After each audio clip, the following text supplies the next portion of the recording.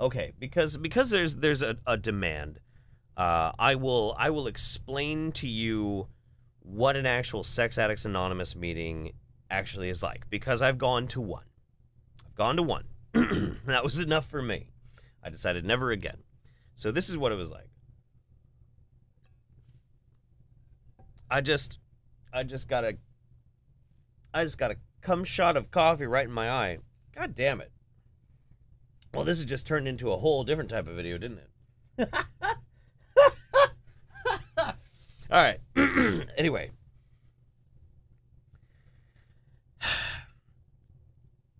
I go look in my local paper for all the 12 step programs, and there's all sorts of kind of different ones uh, here in Eugene.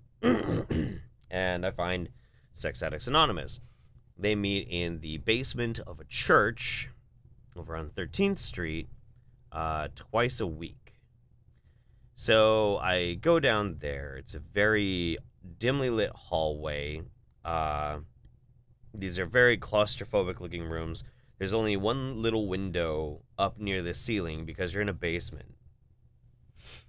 Inside the room is like kids' decorations because this is all like for Sunday school classrooms, you know, which is a little weird. The chairs are a little too small. And I go in, I sit down, and eventually everybody fills in. Inside that room are uh, four men and one woman. Now, I had uh, read the book Choke. I think it was Choke. Yeah, Choke by Chuck Palahniuk. So I thought, Sex Addicts Anonymous. I'm going to hear some crazy shit. I'm going to hear some wild stuff. Ha ha! This is going to be just so interesting, and I, I can't wait. Uh, nothing could be further from the truth. The one sort of interesting aspect to it was the girl. Uh, she was unfortunate looking and very large, um, but she was nice. She was pleasant. She had a very sunny uh, demeanor. Her problem was that she was addicted to anonymous sex, to whatever kind of sex she could get, uh, including going to uh, porno theaters or like porno shops where they have like the, the, the booths in the back and uh, glory hole stuff. And this would be interesting, except she explained why. And it's because she had severe psychological issues that stemmed from years, an entire lifetime of constant, perpetual, violent sexual abuse that she suffered. To the point now that she feels absolutely no value whatsoever of herself or her worth in any way unless she is somehow being she is somehow servicing someone sexually and otherwise being treated like a toilet. Literally at times. So right then and there, like this this what should be a fascinating goes to a oh oh oh my god. Oh my god. Oh okay. Wow.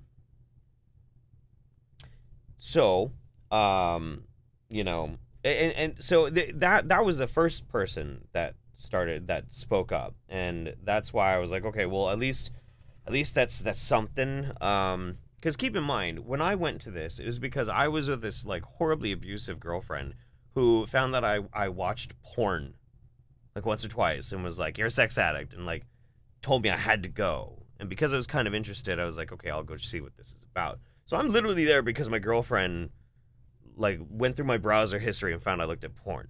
That's that's my contribution to this whole thing.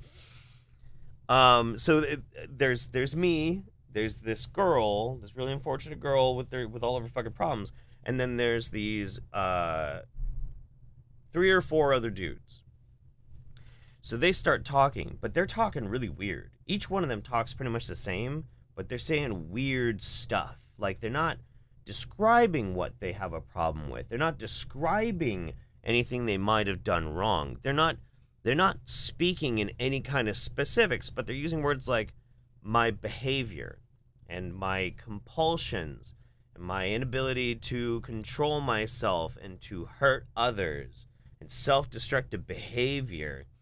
And then as slowly but surely little little words were poking through. Little words were poking through uh, the, of, of like what these guys were talking about and I suddenly realized I suddenly realized that I was sitting in a church basement with this horribly broken woman who sucks dicks through holes in a in a in a uh, porno store and four kitty diddlers.